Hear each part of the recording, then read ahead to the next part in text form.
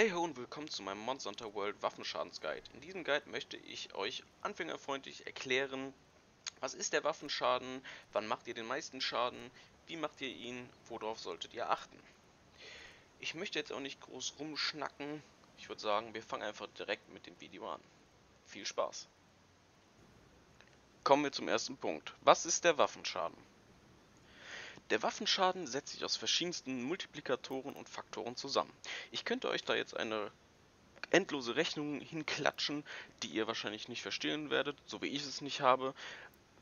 Es werden bestimmt auch unter euch welche sein, die das auf jeden Fall verstehen, aber ich werde mich mit dieser Rechnung jetzt nicht befassen, weil ich die viel zu komplex fand und ich es euch ja eigentlich anfängerfreundlich machen möchte.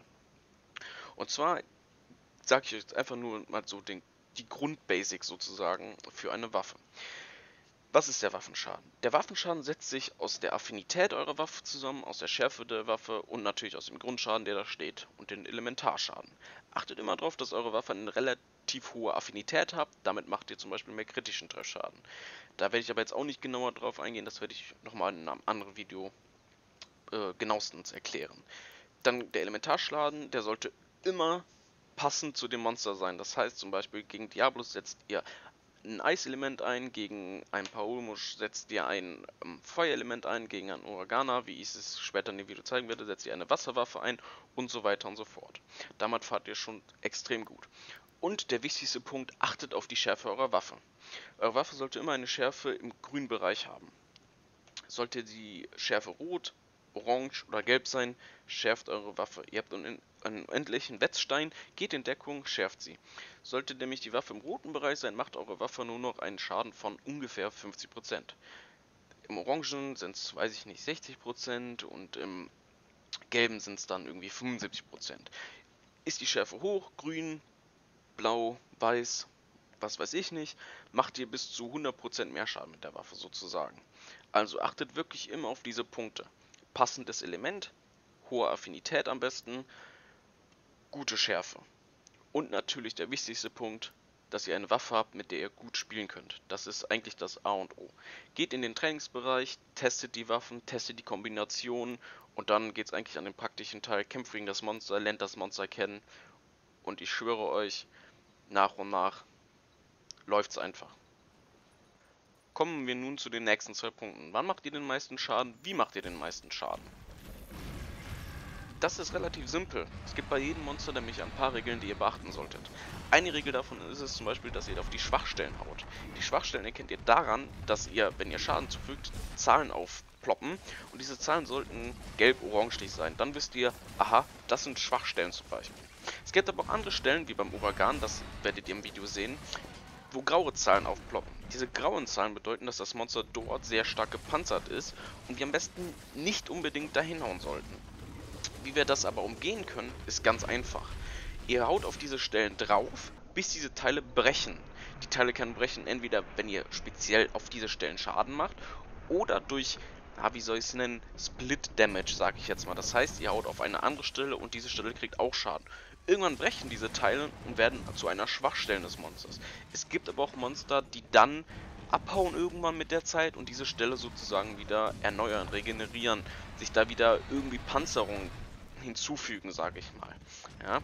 Das heißt, achtet drauf, macht diese Stellen kaputt, dann habt ihr zusätzliche Schwachstellen oder ignoriert diese Stellen einfach komplett.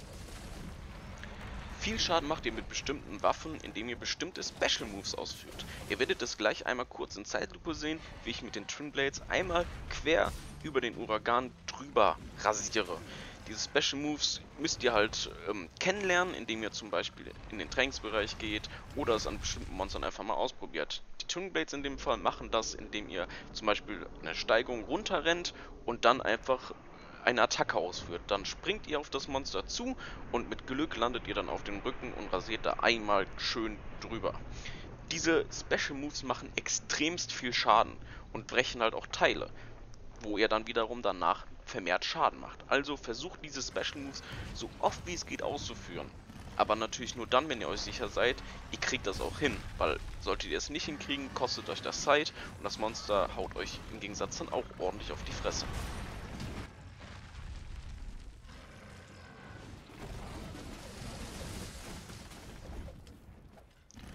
Einiger Zeit solltet ihr dem Monster so viel Schaden zugefügt haben, dass es sich zurückziehen möchte. Das erkennt ihr daran, dass das Monster nun auf der Minimap mit einem Totenkopf markiert wird. Das Monster wird Richtung Nest abhauen, sich schlafen legen. Dann habt ihr nochmal die Chance, dem Monster für kurze Zeit Bonusschaden zuzufügen. Und zwar, wenn sich das Monster schlafen gelegt hat, nimmt eure stärkste Attacke und haut dem Monster auf den Kopf. Soweit ich weiß, geht das leider nur am Kopf. Mit den Twin Blades ist das jetzt nicht so extrem viel Schaden, aber zum Beispiel mit einem Breitschwert, mit einer Ladeattacke könnt ihr dort ordentlich Schaden austeilen. Dieser Bonusschaden ist aber nur für einen einzigen Schlag da und wie gesagt, soweit ich weiß, nur auf den Kopf. Deswegen zieht eure Waffe vorher, macht die stärkste Attacke, die ihr habt und dann werdet ihr sehen, es kommt noch mal eine ordentliche Damage-Zahl.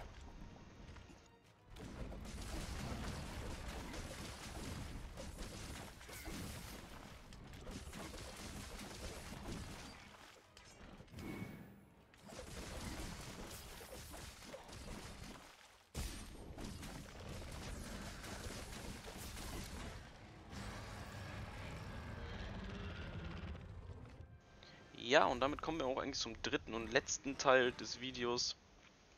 Und zwar, worauf solltet ihr achten? Guckt für jedes Monster am besten einmal im Monster-Lexikon-Eintrag nach. Hier habe ich es einmal für den Uragan gemacht. Dort steht drin, welche Teile ihr brechen könnt. Die roten Markierungen an dem Monster sind die Schwachstellen und rechts ist dann nochmal die Status sowie die Elementarschwäche aufgeführt. Das wird euch den Kampf um einiges erleichtern.